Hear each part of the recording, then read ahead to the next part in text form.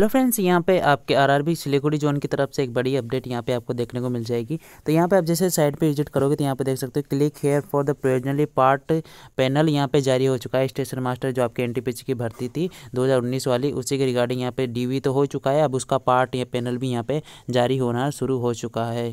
तो बात करें तो इसमें कितने कैंडिडेट को यहाँ पे दिया गया है? सारी चीज़ें आपको देखने को मिल जाएगी। और जो इनकी आगे की फर्दर इंक्वायरी है, वो यहाँ पे जो आपके north north north east frontier railway है, उसकी तरफ़ से यहाँ पे की जाएगी, यानी A N F A N F की तरफ़ से यहाँ पे की जाएगी एन एफ़ आर की तरफ़ से। मालीगांव यहाँ पे देख सकते हैं, गुवाहाटी की तरफ़ से यहाँ पे।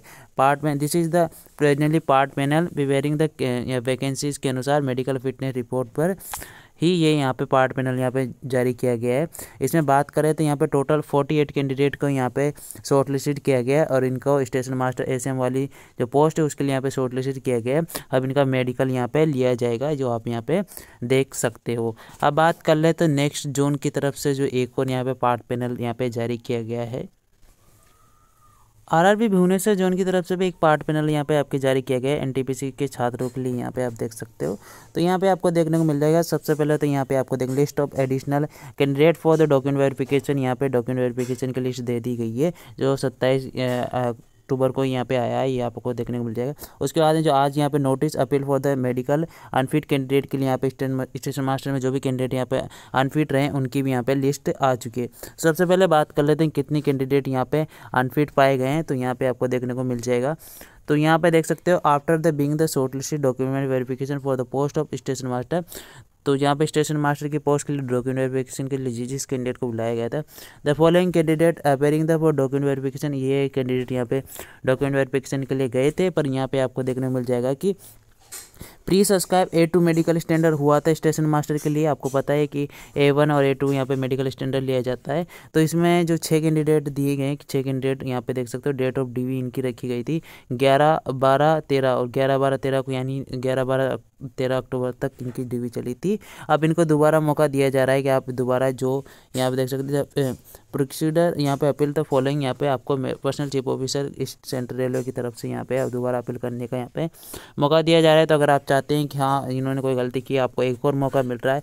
अगर आप एस एम की पोस्ट को पाना चाहते हो स्टेशन मास्टर की, यहाँ पे असिस्टेंट स्टेशन मास्टर की पोस्ट को पाना चाहते हो तो आपको एक और मौका मिल रहा है कि आप अपना मेडिकल यहाँ पे दे सकते हो। तो पूरा यहाँ पे प्रोसेस दे रखा है, इसको एक बार अच्छे से आप रीड कर ले। और अगर आप इस, आपके एक हज़ार रुपये लगेंगे दोबारा, जैसे रीमेडिकल के लिए आप फॉर्म अप्लाई करोगे तो आपके इसके लिए एक हज़ार रुपये यहाँ पे आपको पे करने पड़ेंगे, तभी आप यहाँ पे कर पाओगे। कब, यहाँ देख सकते हैं if you want to appeal against the medical बेड्रिक्टी kindly please the send appeal indicate about the government यहाँ पर देख सकते रेलवे आरआरबी को आपको भेज देना है। अगर आप अपील करना चाहते हैं भाई भुवनेश्वर आरआरबी भुवनेश्वर को भेज देना है, अट्ठाईस नवंबर से पहले पहले तो अट्ठाईस नवंबर से पहले पहले फॉलोइंग डॉक्यूमेंट्स आपको भेज देने हैं। क्या क्या भेजने हैं, वो यहाँ पर आप देख सकते हो appeal of the जस्टिमेंट of the duly sign the candidate यहाँ पर इंडिकेटिंग द रोल नंबर तो आप आपको अपनी डिटेल भेज देनी डॉक्यूमेंट वेरिफिकेशन के डॉक्यूमेंट भेज देना।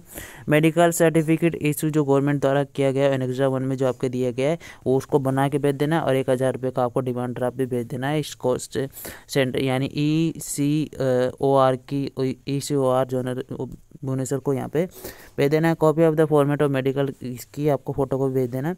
परफ्यूमा ऑफ़ अपील का यहाँ पे फ़ोटो कॉपी भेज देना है। उसके बाद में यहाँ ये आपको पूरा सर्टिफिकेट मेडिकल सर्टिफिकेट बनवा लेना है, जैसा कि आपने पिछली बार बनाया होगा। तो ये पूरा दे रखा है तो इस तरीके से आप मेडिकल मेडिकल के लिए री अपील कर सकते हैं, पर एक हज़ार रुपये आपको इसमें पेमेंट देना पड़ेगा। तो ये जो आपके पैनल यहाँ पे देख सकते हो list of additional candidate for the document verification तो एडिशनल पैनल के थ्रू यहाँ पे पंद्रह कैंडिडेट यहाँ पे देख सकते हो तो यहाँ पे आपको देखने को मिलेगा।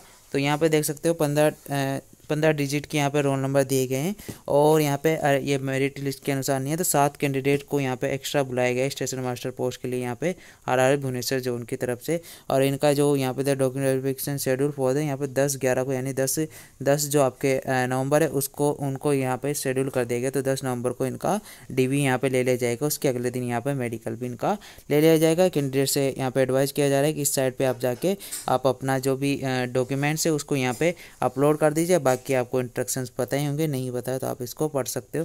तो ये आपको साइट पे विज़िट कर लेना, जैसे इस लिंक के ऊपर क्लिक करेंगे आप तो यहाँ पे आप साइट पे विज़िट हो जाएँगे। तो यहाँ पे आप सिंपली साइड पे जैसे आएँगे तो यहाँ पे आपको इंस्ट्रक्शंस देखने को मिलेंगे। तो यहाँ पे आपको अपनी पर्सनल डिटेल यहाँ पे फिलअप कर देनी है, उसके बाद लॉगिन कर लेना। उसके बाद जितने भी आपके ओल्ड डॉक्यूमेंट जितने भी आपके सोलह जो डॉक्यूमेंट्स ओल्ड डॉक्यूमेंट जो आपने फॉर्म भरते टाइम यहाँ पे फॉर्म भरते टाइम आपने फिलअप किए थे, वो आपको यहाँ पे सारे अपलोड कर देने हैं और दस ग्यारह को यानी यहाँ दस नवंबर को आपको अपने डी के लिए यहाँ पे उपस्थित हो जाना है।